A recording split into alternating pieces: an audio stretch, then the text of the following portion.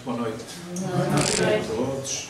Em primeiro lugar, agradecer ao António, que é o responsável do NERV, o convite e poder estar aqui nesta noite para refletir em conjunto sobre esta temática que eh, é atual, é? Jesus na atualidade é muito atual. Eh, eu, desde que me recordo, sempre ouvi falar de Jesus. Tive essa felicidade de, desde a minha infância, eh, os meus pais, a minha avó e muitos familiares me transmitirem muitos ensinamentos, a vida de Jesus, etc. Mas sabemos que nem toda a gente tem essa possibilidade ou teve essa infância que eu tive, e assim eu ia fazer uma primeira sondagem aqui, aproveitando esta amostra, eh, se não se importarem de levantar o braço às perguntas que eu vou fazer, só para nós, mais ou menos, termos, sim, uma ideia da, do pensamento daqui da globalidade. Quem é que considera que Jesus é importante na atualidade? temos a grande maioria considera. Quem é que considera que Jesus é muito importante na sua vida? Esta amostra é assim um bocadinho viciada porque é? estamos numa casa espírita. Mas vou fazer outra pergunta, que é quem acham que a humanidade, agora a totalidade dos seres humanos, considera que Jesus é importante na, uma, na, na atualidade? Quem é que acha que mais de 50% da população considera que Jesus é importante na atualidade? Mais do que 50%. É bom, a gente tem que ter otimismo, não é? Não é? A gente tem que pensar positivo.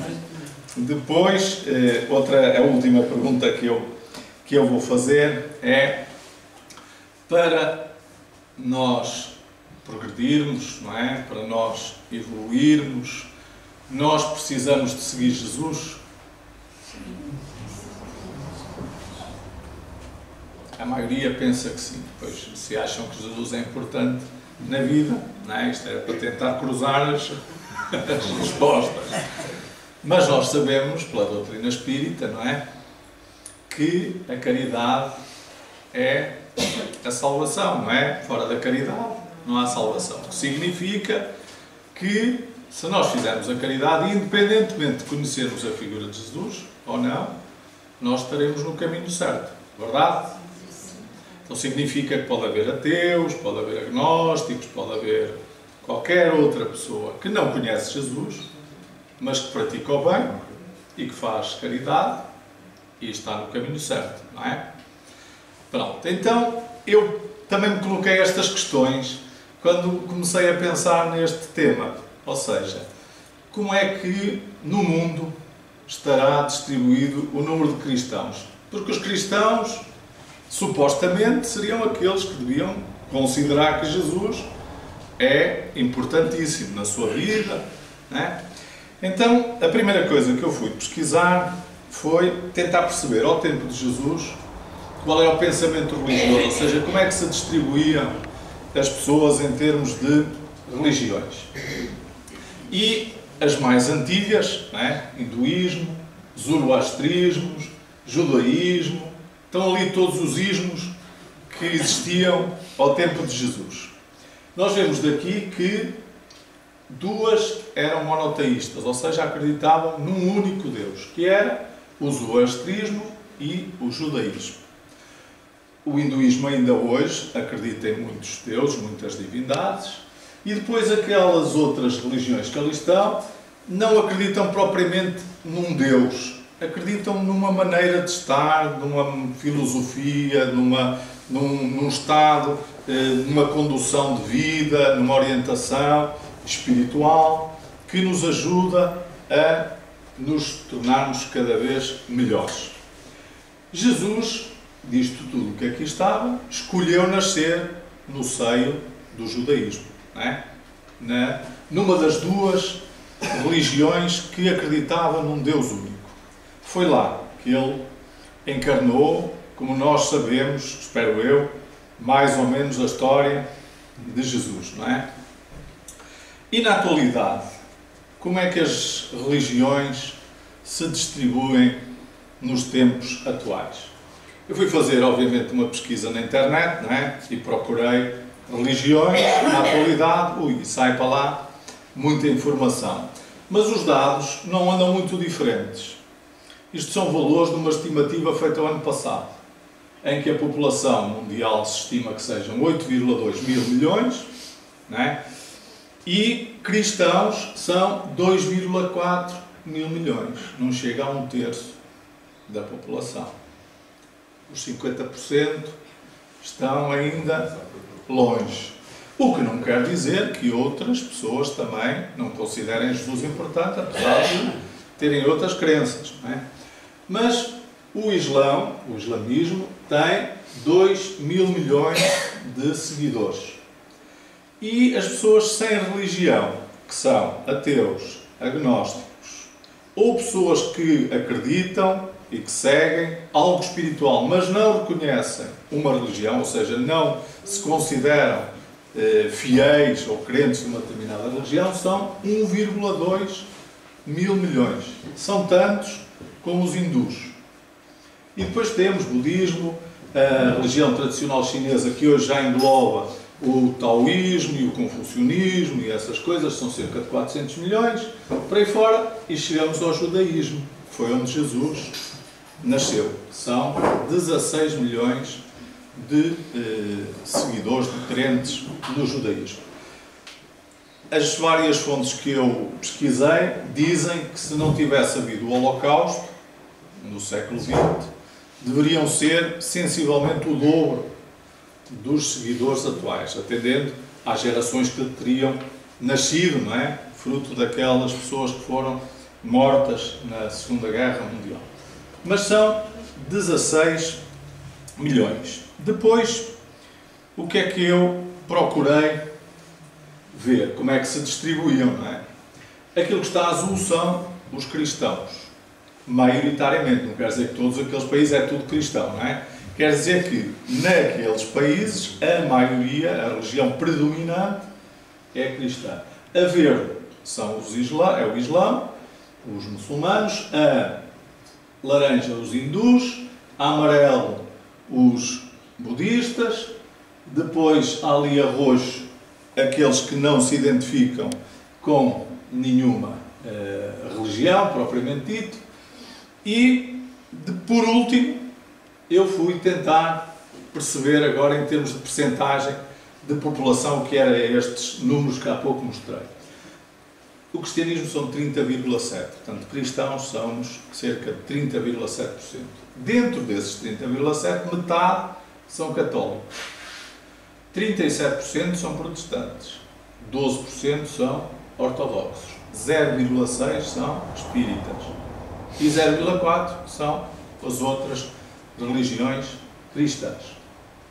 Depois também pus aí as percentagens das outras religiões, mas só uma à parte. Os 0,6% de espíritas corresponde a 16 milhões. É o mesmo que o número de judeus que se estima atualmente.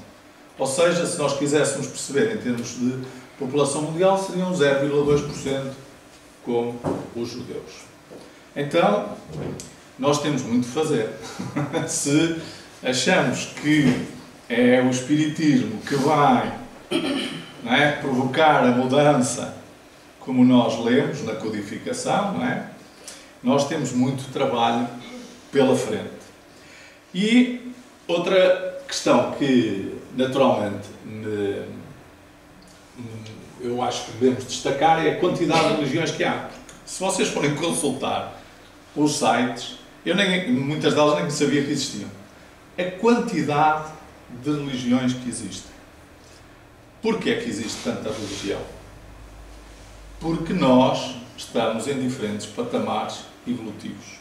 Todos nós não estamos no mesmo patamar evolutivo. Então nós precisamos das religiões com as quais nós nos identificamos de acordo com o patamar em que nos situamos. E muitas vezes, não é? também não nascemos todos nos mesmos lugares. É? Agora nascemos em solo que é maioritariamente cristão e, portanto, se calhar todos nós mais ou menos fomos orientados ou ouvimos falar disso. Mas se tivéssemos nascido numa outra região que não é cristã, se calhar tinha sido diferente. É? Então significa que as religiões existem todas porque Deus entende que é necessário, não é? porque senão não existiam, e porque nós temos que fazer o nosso caminho. E o nosso caminho vai-se fazendo ao longo das várias existências que nós vamos tendo. E em cada existência nós vamos somando conhecimento, vamos aprendendo, vamos melhorando, vamos avançando moralmente e intelectualmente. Isso era o que nós desejávamos, que fosse sempre assim. Mas às vezes estagnamos, não é? Às vezes temos várias existências que não avançamos nada. Não andamos para trás, mas também não andamos para a frente. Não é? Então, ainda é necessário todas estas religiões no mundo para nós podermos encontrar o nosso caminho para a espiritualidade. Porque a primeira questão fundamental é nós assumirmos que a nossa existência também tem uma realidade espiritual.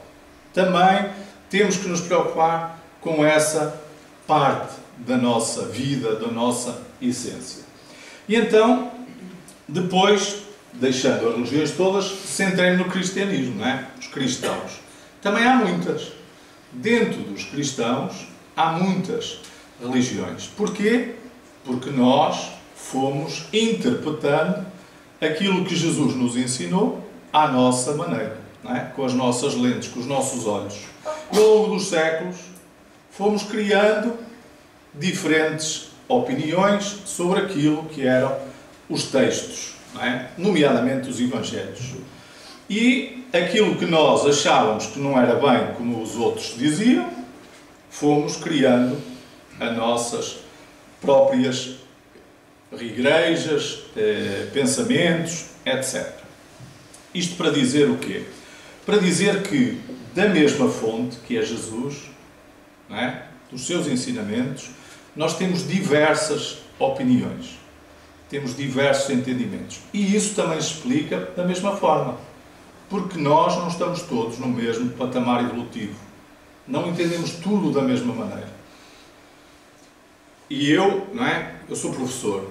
Eu, quando transmito qualquer coisa para os meus alunos, eu sei que uns compreenderam o que eu estava eh, com a intenção de transmitir, outros não compreenderam, outros pensaram que era outra coisa que eu estava a dizer, porque é natural.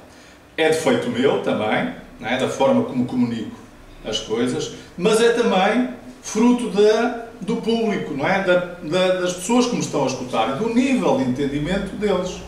Se as pessoas têm mais dificuldades em determinados assuntos, é mais difícil entender. O Espiritismo existe há 160 anos, mais ou menos, 170. Ou seja, é muito recente. A maior parte das pessoas que estão reencarnadas atualmente, muito poucas tiveram contacto com o Espiritismo. Se nós pensarmos que cada reencarnação demora em média, vamos jogar pelo, mais ou menos pelo seguro, vivemos 60 anos, que é já para não viver 80, ou, vivemos 60 anos para trás, nos séculos anteriores. Depois tivemos do lado lá, aí uns 20 ou 30, antes de voltarmos cá, não é? Um século. Ainda não passou o segundo, desde que o Espiritismo existe. São ideias novas. São opiniões recentes que os Espíritos nos trouxeram e que é necessário que nós possamos absorver. E isso é preciso esforço da nossa parte. Temos que trabalhar no sentido de perceber aquilo que o Espiritismo nos veio trazer. Então, nós tivemos diferentes religiões cristãs, diferentes opiniões e muitas delas nós sabemos quais foram as causas de divergência. É? Eu trouxe aqui apenas duas questões que, desde o tempo de Jesus, foram debatidas.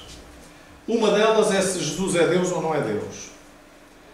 Desde o tempo de Jesus, havia cristãos que achavam que ele era Deus e havia cristãos que achavam que ele era como nós, mas mais evoluído.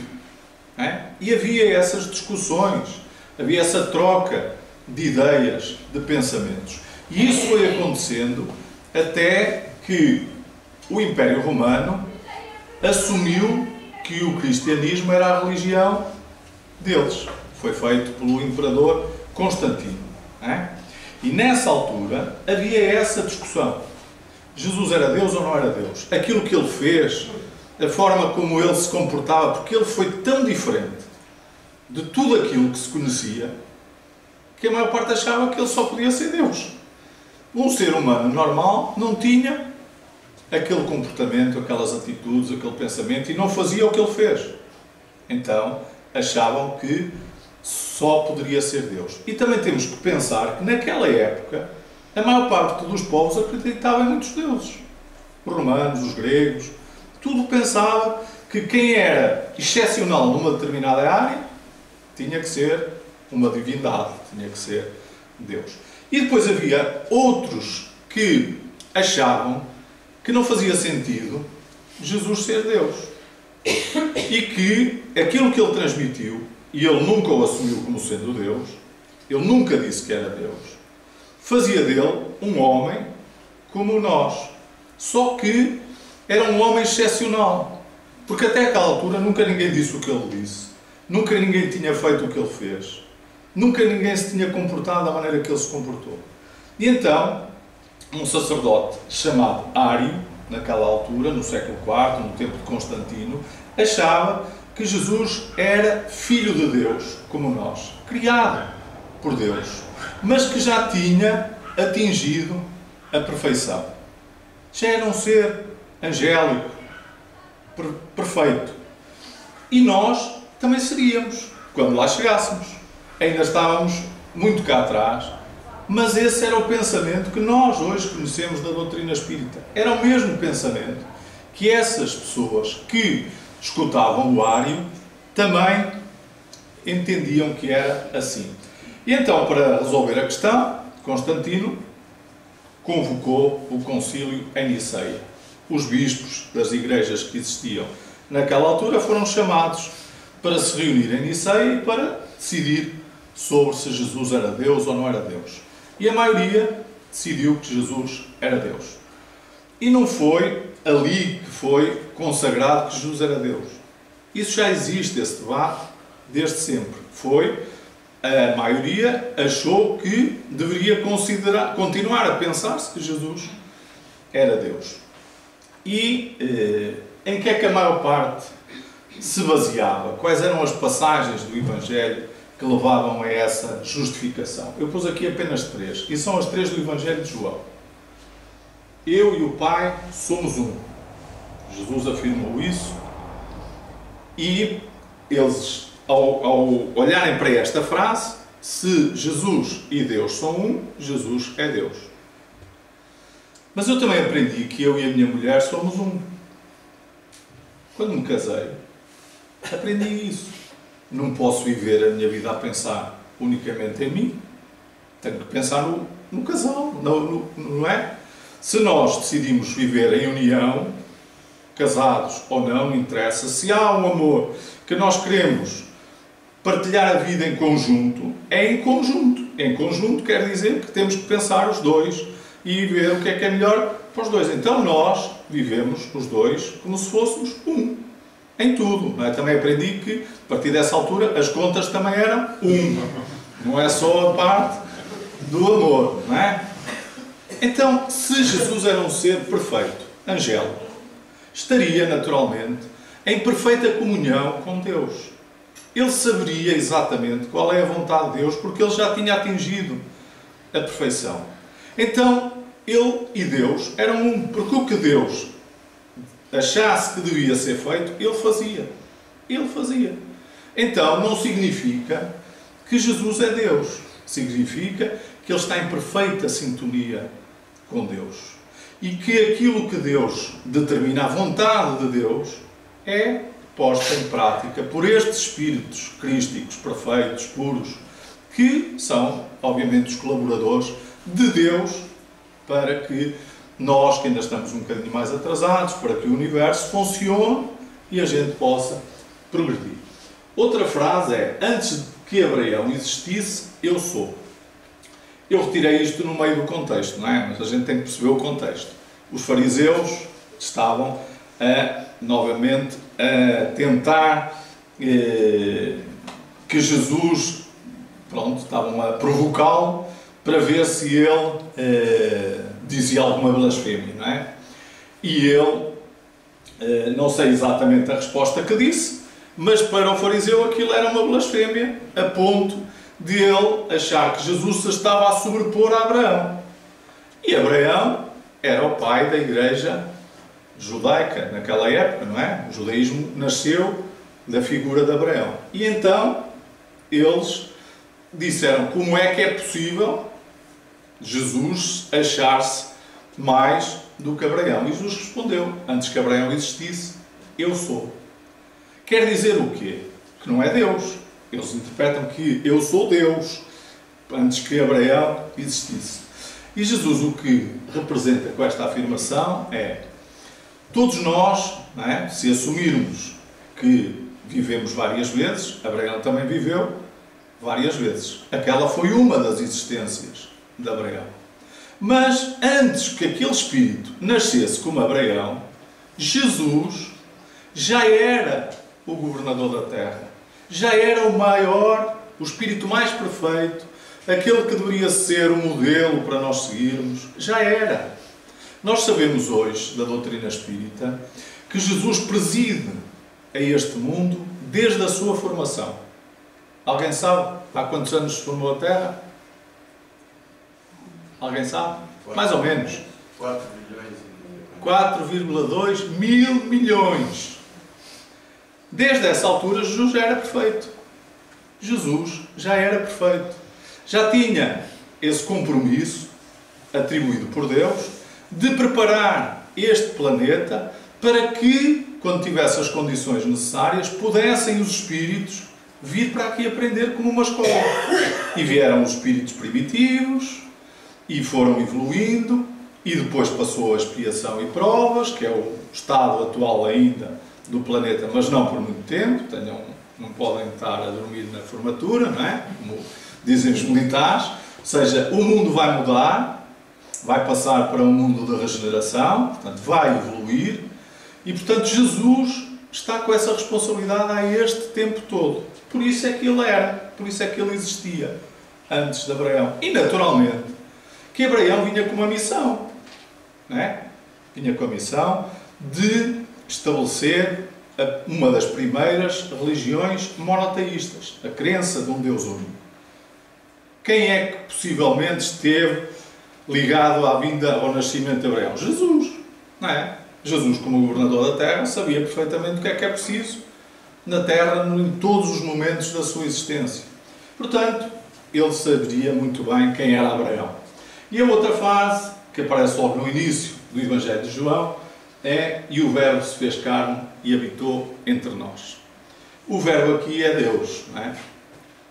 O Verbo se fez carne, quer dizer, Deus deixou de ser algo abstrato e passou a ser um homem, uma figura humana, física, e habitou entre nós. E como São João escreveu isto, Jesus não disse nada disto, não é? O apóstolo João é que escreveu isto no Evangelho. Então, eles interpretam que Deus é, encarnou na figura de homem. Mas a justificação é a mesma da primeira fase. Se Jesus está em plena comunhão e em sintonia com Deus, tudo o que ele transmite é a vontade de Deus, são os ensinamentos de Deus, é a palavra de Deus, logo é o Verbo de Deus. E não significa que Jesus seja Deus. Se nós lemos os Evangelhos todos, não há uma afirmação de Jesus a dizer que era Deus. Eu sou filho de Deus, o meu Pai me enviou, eu faço a vontade do meu Pai, e por aí fora. Se a gente ler os Evangelhos. Outra discussão era se Jesus teve ou não teve um corpo material. A gênero. Alguém sabe o que é um agénero? Um agénero é um espírito que não tem corpo físico. Está no mundo espiritual. mas que se pode materializar, podia-se materializar aqui à nossa frente, e ter o mesmo aspecto como se tivesse um corpo físico. Isso é um agente. Vamos dar um exemplo. Jesus morreu na cruz. É? Passado três dias, as mulheres que foram visitar o sepulcro encontraram-no vazio. E encontraram cá fora uma pessoa. E Madalena reconheceu Jesus e quis abraçá-lo. Quis ajoelhar-se aos seus E Jesus disse que não. Porquê? Porque o corpo que ele estava ali era espiritual, não era material, não era físico. É como se fosse uma aparição, como aconteceu em, em Fátima, é? é um espírito e alguém está a ver o corpo espiritual, o pé espírito, como nós dizemos na doutrina espírita. Mas foram contar aos apóstolos o que tinha acontecido, e a maior parte não aconteceu, principalmente Tomé. Não é? E Tomé disse que só acreditava se visse e se tocasse. E então Jesus aparece e chega ao pé de Tomé e diz para ele pôr os dedos nas feridas, nas chagas. O que significa que ele apresentou-se com um corpo físico. Porque senão não tinha chagas, não tinha como Tomé lhe tocasse. Era uma gênero. Era um espírito que já não tinha corpo material, mas que se materializou como se tivesse exatamente o corpo físico. Então havia esta discussão. Achavam que aquilo que Jesus fez foi tão extraordinário, é? E como ressuscitou e o corpo desapareceu, ele não tinha corpo. Era um agente. E outros pensam que não, que Jesus nasceu como nós nascemos, teve um corpo como nós temos, sofreu todas as coisas que passou, não é? A flagelação, a crucificação, etc, etc, como nós. E isso é que, isso é que faz dele um espírito, não é? Que serve de modelo e guia. Porque perante o mundo, com as provas e as dificuldades em que nós também estamos, ele mostrou como é que nós podemos viver, superar e não nos desequilibrarmos, não nos deixarmos seduzir ou dominar pelas coisas materiais. Mostrando que é possível. Porque se ele fosse totalmente diferente, é o que diz muita gente. Oh, ele era Jesus, também eu. Se eu também fosse Jesus, também fazia. Não é? Mas havemos de ser. Se nos esforçarmos. Essa é a certeza que ele nos deixou. Vós sois deuses. Nós temos todas as condições para fazer o que ele fez. Não é? Então é preciso nós conhecermos Jesus. Jesus é a personalidade mais comentada e mais documentada da história. Não há outra na história que tenha tantos livros que falem sobre ele. Jesus é o único que dividiu a história. É? Conseguiu mudar o nosso calendário, a marcação do tempo. O tempo passou a ser marcado depois dele e antes dele. E ele não deixou nada escrito. Não escreveu nada. Tudo o que chegou até hoje são textos de outros que escreveram sobre ele. Os principais são os Evangelhos, as cartas, os Atos dos Apóstolos, aquilo que a gente sabe que constitui o Novo Testamento. Mas há muito mais textos sobre Jesus. Quem decidiu, foram homens, é? que aqueles eram os mais eh, fiáveis, aqueles que mais ou menos falavam das mesmas coisas e, portanto, deveriam ser seguidos, puseram de lado muitos outros, que hoje são considerados os Evangelhos Apócrifos e outros textos. Não é? Mas, para além disso, também há manuscritos que foram aparecendo e que falam sobre Jesus. Os Evangelhos não são livros históricos, ou seja, aquilo não segue uma cronologia da vida de Jesus. Por lá nós não conseguimos fazer uma biografia, digamos assim, cronológica da vida de Jesus. Foram apontamentos que depois foram passados para o papel. Mais recentemente, no século passado, apareceram dois conjuntos de manuscritos que hoje existem, traduzidos para o português, publicados, muitos. Uns são a Biblioteca de Nag Hammadi, que apareceram no Egito, um conjunto de rolos de papiro da época de, de Jesus e que retratam, portanto, os primeiros anos do cristianismo até mais ou menos ao século IV, ao primeiro concílio de Nicéia. Os outros apareceram em Israel, numas grutas, em Qumran, e também são textos que falam sobre Jesus e sobre as suas práticas. Portanto, havia muita gente que conviveu ou que ouviu falar de Jesus, que foi registando isso e foi transmitindo-se de boca em boca e até chegarem ao papel.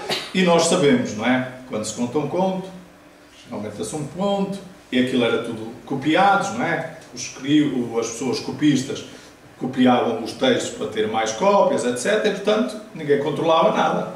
Eu podia tirar, ou pôr, ou mudar eh, a palavra como entendesse. Na maior parte dos estudos que existem, e os estudos só começaram a aparecer no século XVIII, porque para trás disso ninguém tinha acesso a nada. Né? A imprensa começou no século XV, com Gutenberg. O primeiro livro foi a Bíblia, em latim. Quem é que sabia latim? Ou eram os nobres, ou eram os religiosos. O povo não sabia nem ler nem escrever, quanto mais latim. Não é? E assim foi durante muito tempo, até que as coisas começaram a espalhar-se. Século XVIII começam os primeiros estudiosos nas universidades a querer estudar a figura de Jesus, do ponto de vista histórico. Se existiu, se não existiu, onde é que viveu, como era, até, aos, até à atualidade. E muito se tem produzido sobre Jesus do ponto de vista académico, histórico, religioso, tantos estudos. E muitos acham que é uma figura importante pelo seu pensamento, pela revolução que ele introduziu naquela época. Mas muitos também acham que aquilo não serve para nada, que não interessa para nada Jesus. É? é? assim que nós, mais ou menos, vemos uh, o mundo, não é? O importante, para além de saber se os outros, o que é que os outros pensam, é saber o que é que nós pensamos sobre Jesus. Porque nós só vamos dar conta de nós, não vamos dar conta dos outros. O que é que nós, o que é que, foi aquela pergunta que eu fiz há bocado, o que é que Jesus significa para mim, na minha vida? Eu sigo Jesus? Não sigo Jesus? O que é que eu sei sobre Jesus? Eu essas perguntas não vou fazer aqui, não quero que levantem a, a mão. Mas há muitos cristãos que se calhar nunca leram os Evangelhos, se calhar nunca leram os Atos dos Apóstolos, se calhar nunca leram as cartas. Ou vão ao seu culto, ouvem falar de Jesus, aquilo que lhes transmitem, aquilo que leem, e por ali fica. Não querem saber de mais nada, está muito bem assim e já chega. E há outros que não há outros que ouvem, ouvem as explicações, aceitam-nas ou não, questionam, procuram saber mais, vão atrás de quem lhes possa dar outra opinião, outro esclarecimento e vão raciocinando sobre as coisas. E isto é fundamental na nossa vida. É muito importante nós conhecermos Jesus de perto. Não é? é preciso saber o que é que ele nos transmitiu de útil para a nossa vida.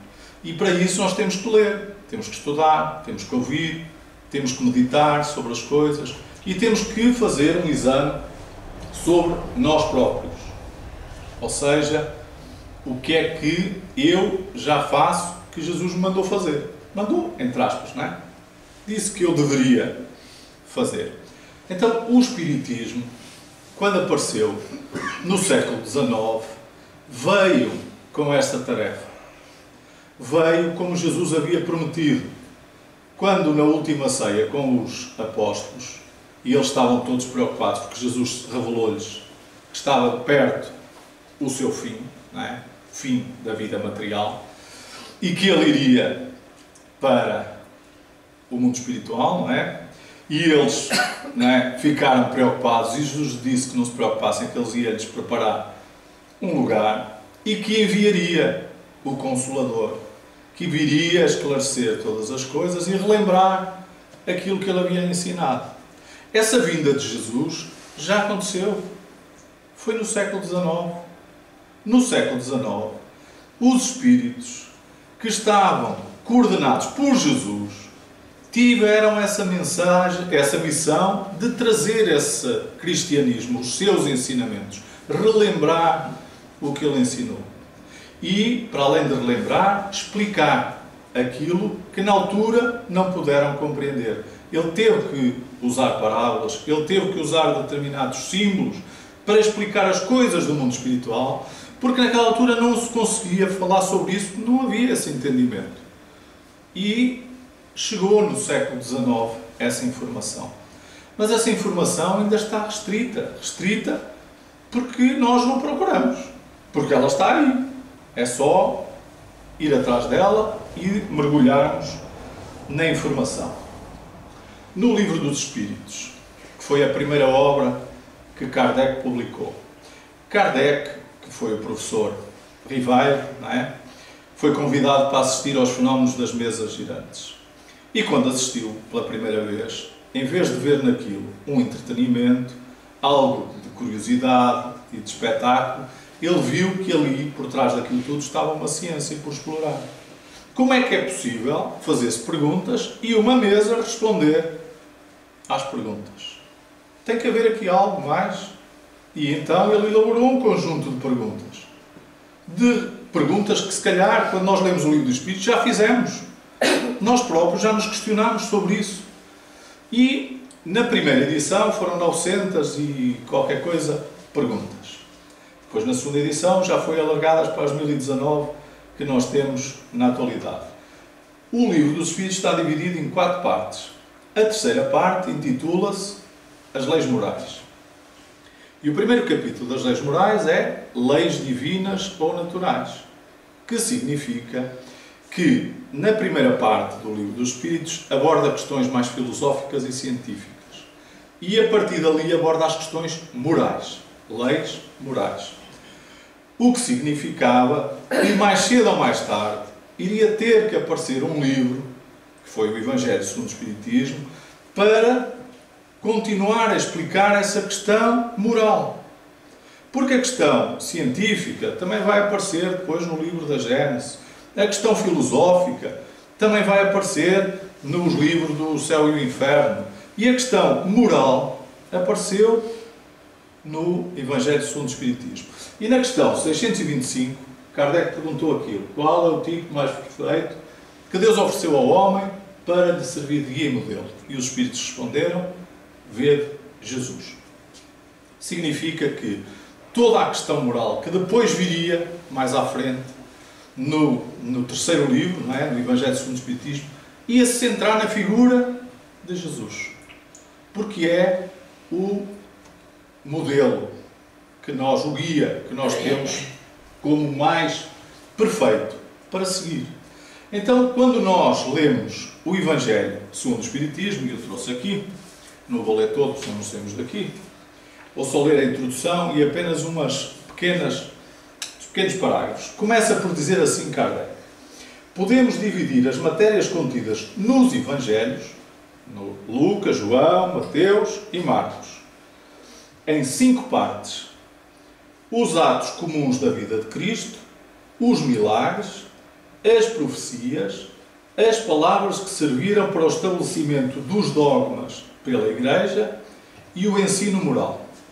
Portanto, se nós pegarmos em todos os Evangelhos e agruparmos aquilo que lá está, podemos agrupar nestes cinco grupos. E depois diz assim: se os quatro primeiros têm sido objeto de controvérsia, a última permaneceu inatacável. A última é o ensino moral. Diante do código divino, até mesmo a incredulidade se curva. É o terreno onde todos os cultos, todos os cultos se podem encontrar. A bandeira sobre a qual todos se podem abrigar. E não vou ler mais nada. Significa o quê? Que se nós, homens religiosos, em vez de estarmos preocupados com as coisas que nos dividem, estivéssemos preocupados com as coisas que nos unem, nós tínhamos dado mais atenção ao ensino moral.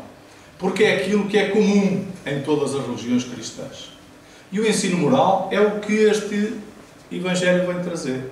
São os ensinamentos de Jesus que não deixam dúvidas sobre a bondade, o perdão, a caridade, né, a indulgência, a benevolência, as atitudes que nós temos que ter perante os outros.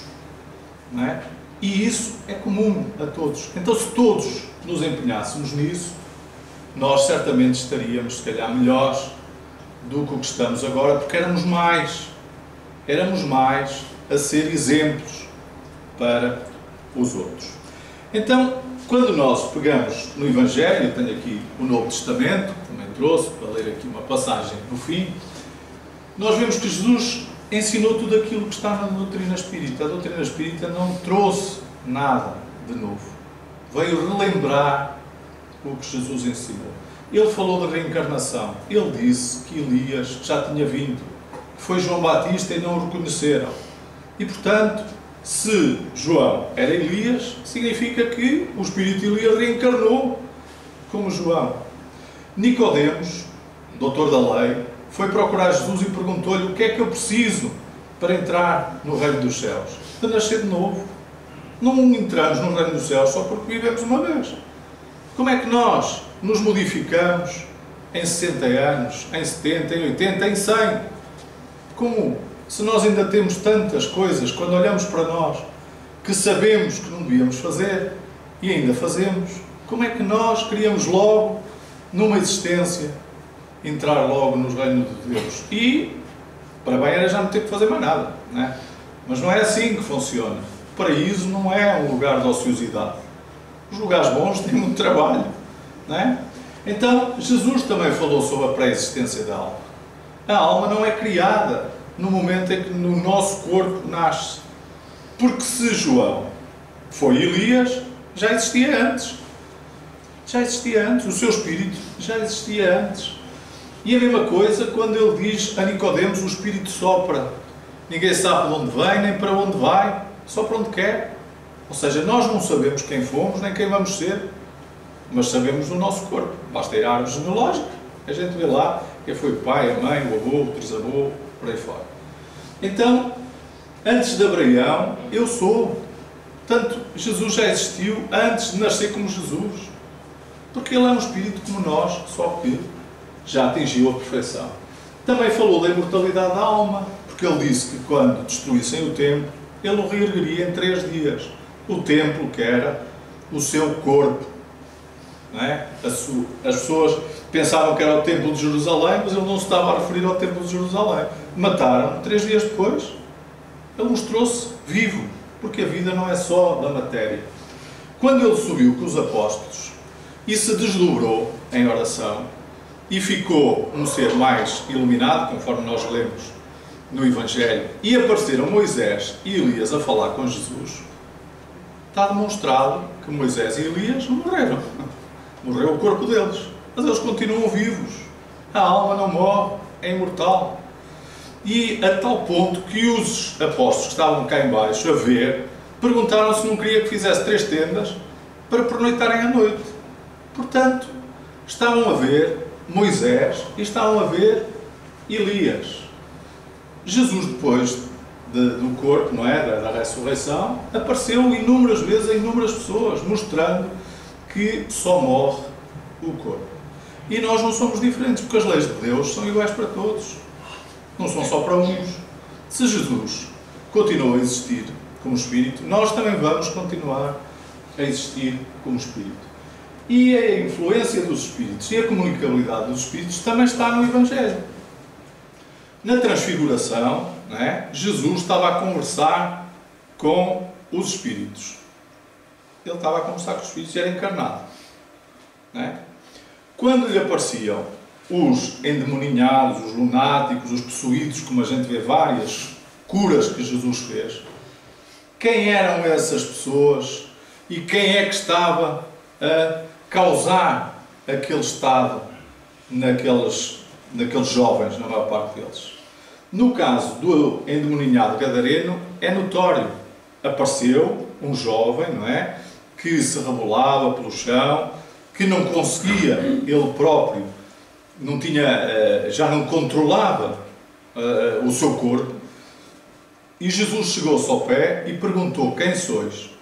Sou legião. Somos vários. Quer dizer que os espíritos que dominavam aquele jovem eram vários. E Jesus disse para eles saírem do, jo do jovem, né? deixarem de influenciar, de obsediar aquele jovem. E eles, com medo, disseram para não os mandar para o abismo. Que estava ali os animais, que mandasse para os animais. Foi quando os porcos se precipitaram no mar, é? no lago de Nazaré. Mas os espíritos não entraram dentro dos porcos, que fique claro. Os espíritos assustaram os animais que se precipitaram no mar, porque o espírito não entra dentro do corpo nenhum. O meu também não está aqui dentro de mim. Está bem? Que fique claro, porque às vezes temos a ideia que nós estamos dentro do nosso corpo, não estamos. E quando os médiums recebem os espíritos, os espíritos não entram dentro dos médiums. Que fique claro. Está bem? Então, a comunicabilidade dos espíritos também está no Evangelho. E se nós formos para a frente ou para trás, fomos ao Antigo Testamento e aos Atos dos Apóstolos, temos lá as profecias, as profetizações, temos lá os Espíritos a revelarem coisas que iriam acontecer. Então, o Espiritismo vem-nos esclarecer isto tudo, vem-nos trazer novamente estes ensinamentos e de uma forma lógica, racional. O mundo atual é, está mais sofisticado, temos muito mais conforto, temos muitas coisas boas. Não, é? não podemos dizer que o mundo está pior porque não está. Eu prefiro viver agora do que há 200 anos atrás. Não me ponham dúvidas. O mundo está melhor. Não está como a gente gostaria, mas está melhor. Mas o homem, o ser humano, não está muito melhor. Porquê? Porque também não são sempre os mesmos que estão encarnados. É, aqueles que já aprenderam não precisam de cá voltar. Só precisa de cá voltar quem tem que aprender. Certamente que haverá uns que estão melhores do que outros, porque é preciso a gente pôr, misturar. É? Na educação é igual. A gente tem que misturar aqueles que andam mais e percebem melhor para puxar pelos que têm mais dificuldades, é igual. Então nós, no planeta, temos espíritos de várias ordens morais.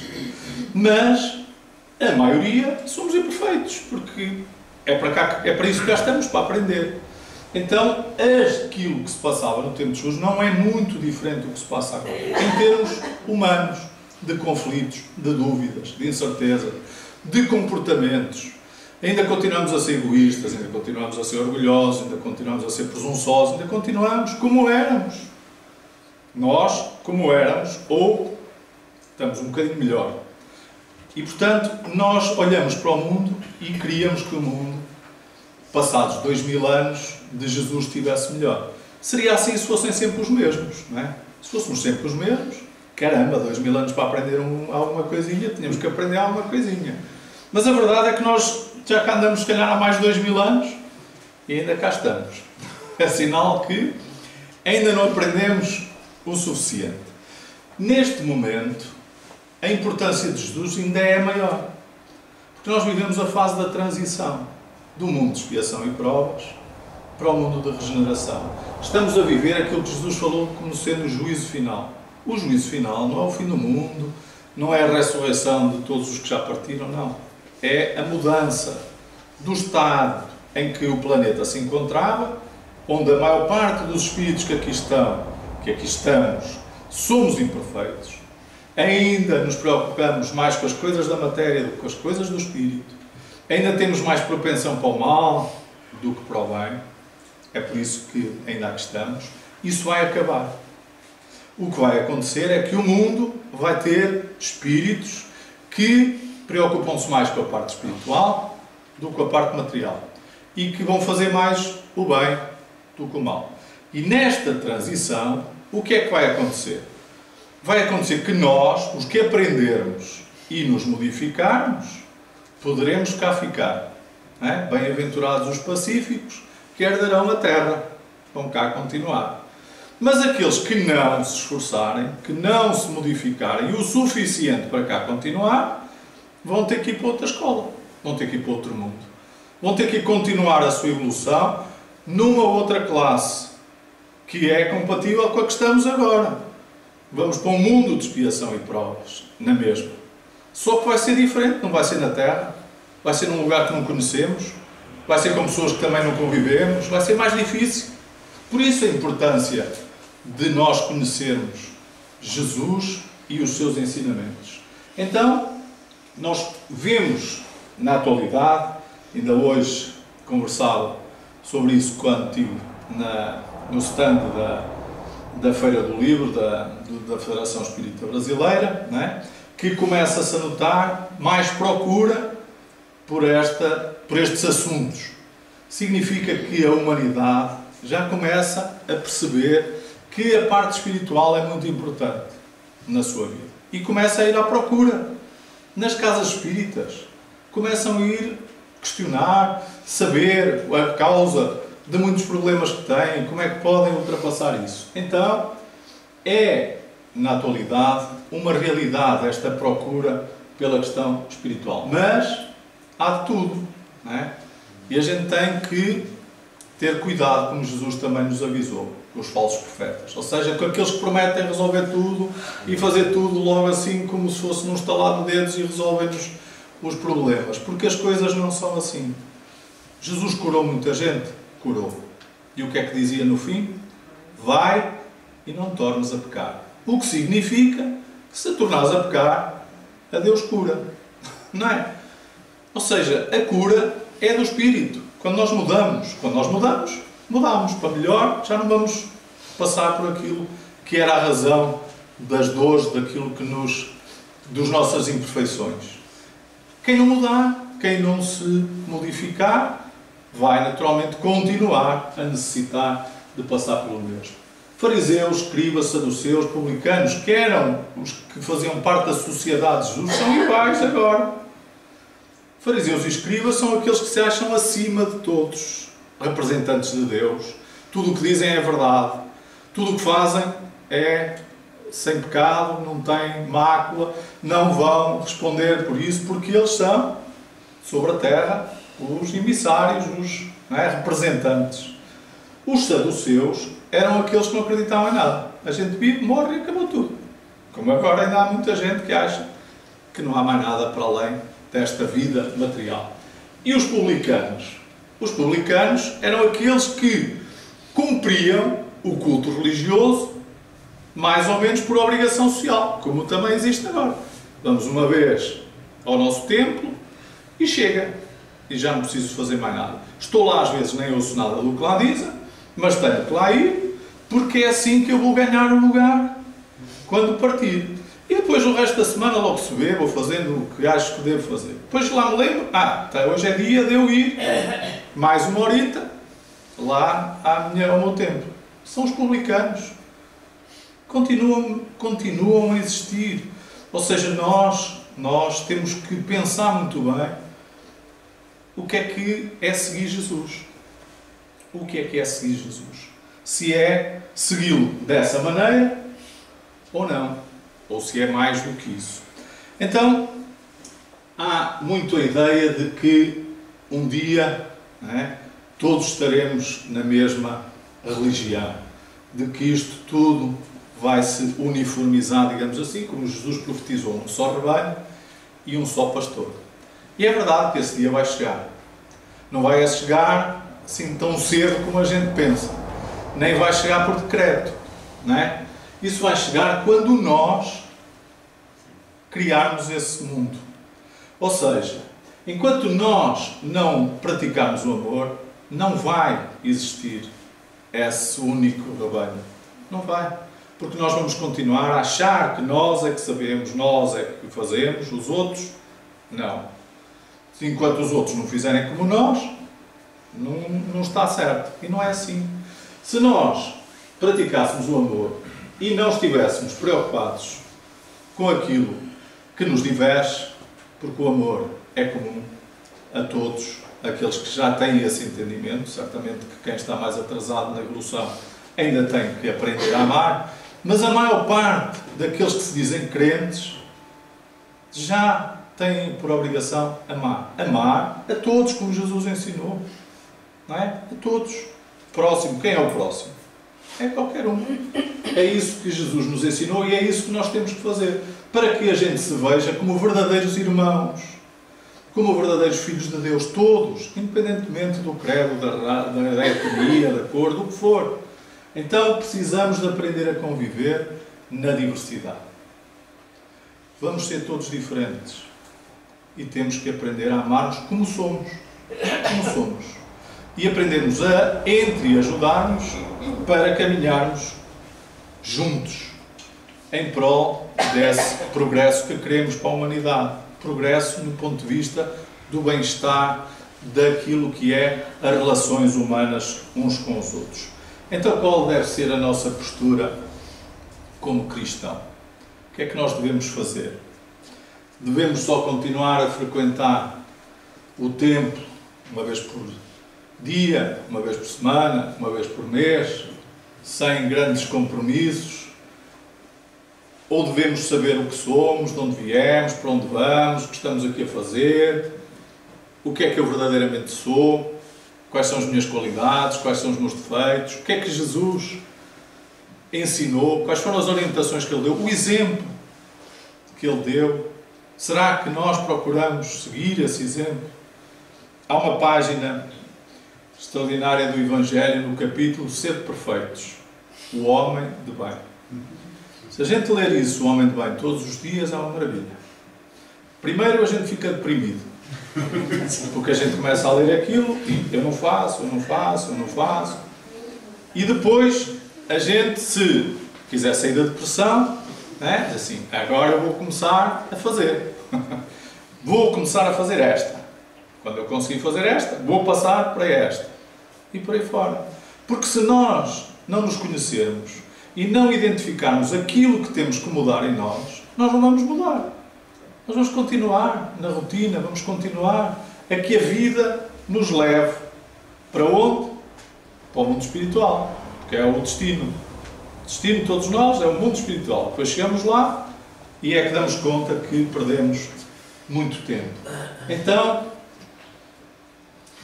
diz o Evangelho que se reconhece o verdadeiro espírita, que é a mesma coisa que o verdadeiro cristão, pela sua transformação moral pelos esforços que emprega para dominar as suas más inclinações. Ou seja, não é por ir não sei quantas vezes ao templo, não é por dizer que é cristão, não é por nada disso. É por mudar. Se nós mudarmos, nós estamos a seguir Jesus. Mudarmos para melhor, claro, é? Para trás não vale a pena. Mudar para melhor. E se reconhecermos os nossos defeitos, é? as nossas imperfeições, as nossas más inclinações e procurarmos dominá-las, nós estamos no caminho. Nós estamos no caminho de seguir Jesus. Então, para terminar, vou aqui ler dois textos. O primeiro é do Evangelho de Lucas, que diz assim: Exigências da vocação apostólica. Enquanto iam a caminho, disse-lhe disse alguém: Seguir-te-ei para onde quer que fores. Jesus respondeu-lhe: As raposas têm tocas e as aves do céu têm ninhos, mas o filho do homem não tem onde reclinar a cabeça. E depois disse a outro: Segue-me. Mas ele respondeu: Senhor, deixa-me primeiro sepultar meu pai. Jesus disse: Deixa que os mortos sepultem seus mortos. Quanto a ti, vai anunciar o reino de Deus. Reparem bem nesta passagem. O primeiro disse que seguia Jesus por onde ele fosse. E Jesus só lhe disse que os animais, sejam aves, sejam animais, têm onde dormir e ele não. O que significa que a tarefa dele é árdua. É? Tem que correr, correr mundo a ir à procura dos que necessitam, dos aflitos, dos necessitados de ajudar. Para dizer, será que consegues seguir-me? E, e depois virou-se para o outro, já não foi o outro que lhe disse, foi Jesus que se virou para o outro e disse assim: segue-me. E ele deve ter ficado a trabalhar e disse: Deixa-me primeiro ir sepultar o meu pai. E Jesus disse que os mortos, não é? como eu acabei de ler, é que deixam os mortos sepultar os mortos. Joana de Anjos fala sobre esta passagem.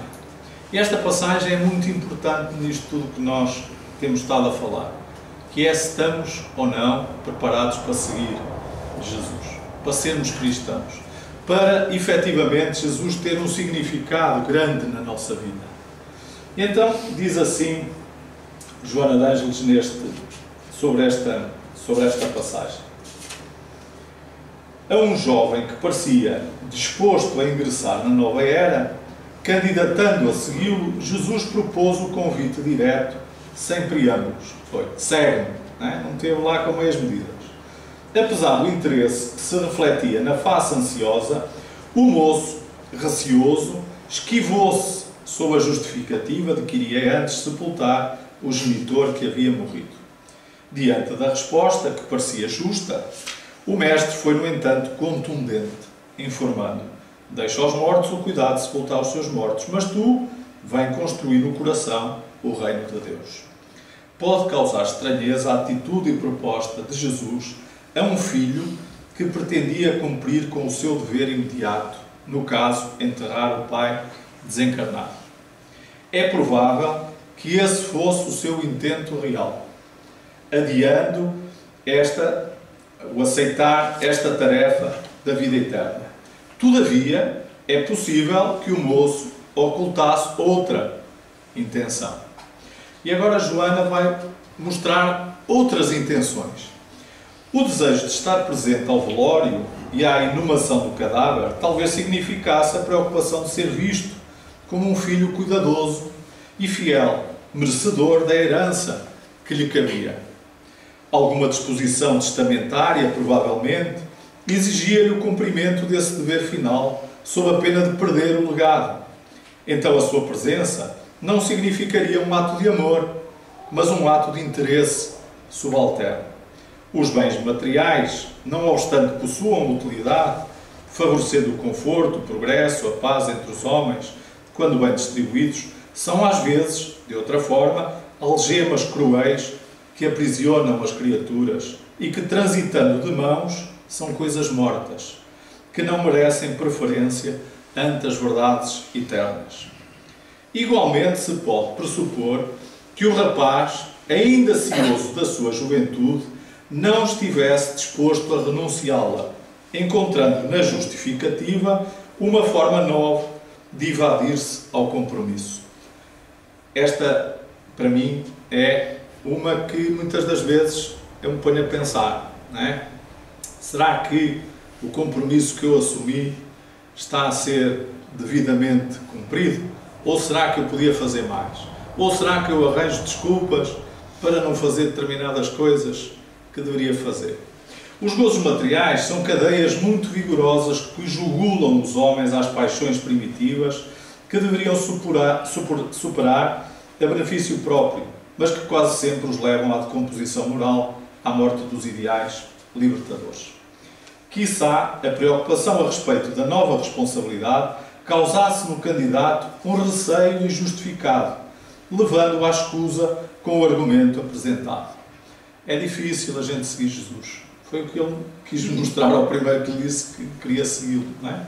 Porque é preciso devotamento, é preciso abnegação, é preciso ir sempre, em qualquer momento, não é?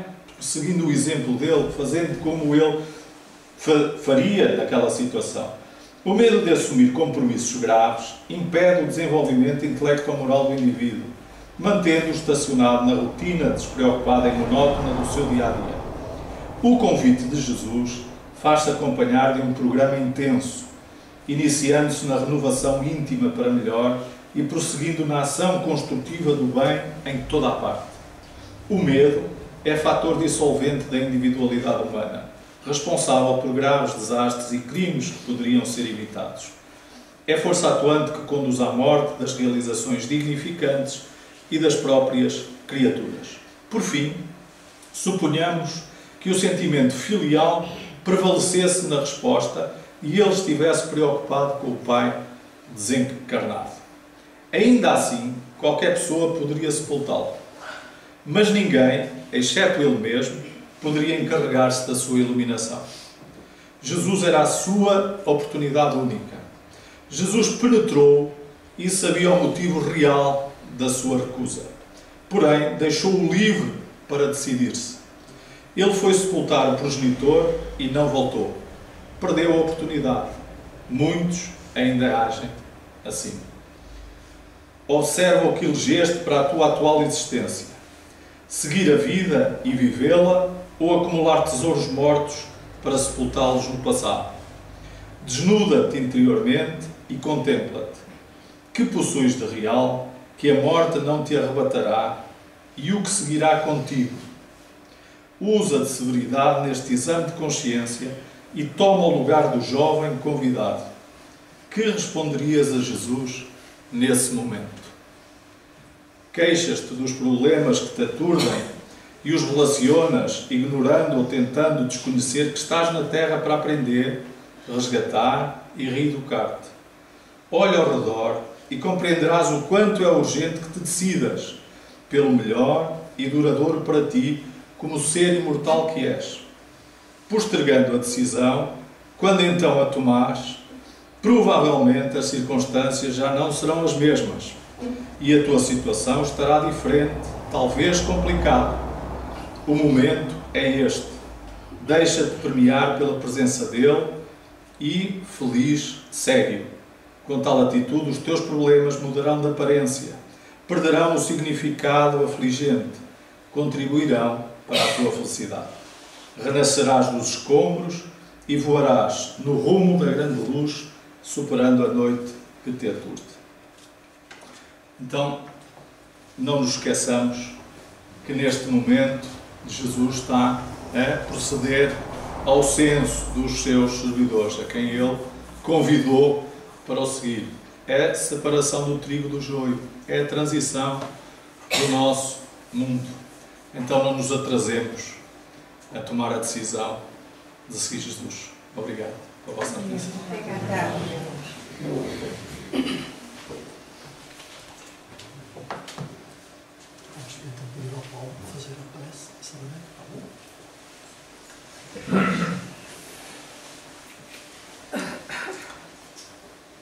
Vamos então manter a serenidade, o pensamento, na espiritualidade maior, desses emissários de Jesus que permanecem neste recinto, que estão conosco desde o início, antes de nós chegarmos, já aqui estavam preparando este ambiente e vamos agradecer-lhes por todas as bênçãos que nos concederam neste momento em que aqui nos encontramos, a todos nós encarnados, mas também a todos os que aqui se encontram necessitados do outro plano da vida.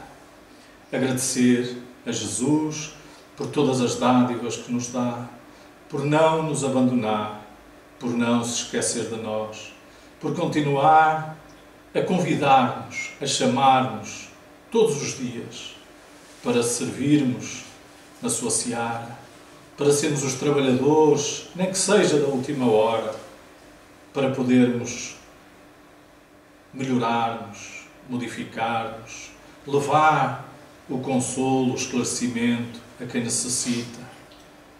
Podemos ser um porto de abrigo, um ombro amigo, doar um sorriso, derramar algumas lágrimas em conjunto com aqueles que necessitam e que estão aflitos ou desesperados, que nós possamos compreender os seus ensinamentos, saber que devemos amar, amar a todos por igual, procurando seguir o teu exemplo, Senhor. Ajuda-nos nessa tarefa, ajuda-nos no regresso aos nossos lares, na nossa vida, nos nossos problemas, nas nossas preocupações e que nós possamos aceitar com abnegação, com resignação, as provas, as expiações, tudo aquilo que na nossa vida se depara, porque sabemos que é para nosso bem, que é para nosso crescimento, para a nossa evolução fica conosco e abençoa-nos hoje e sempre.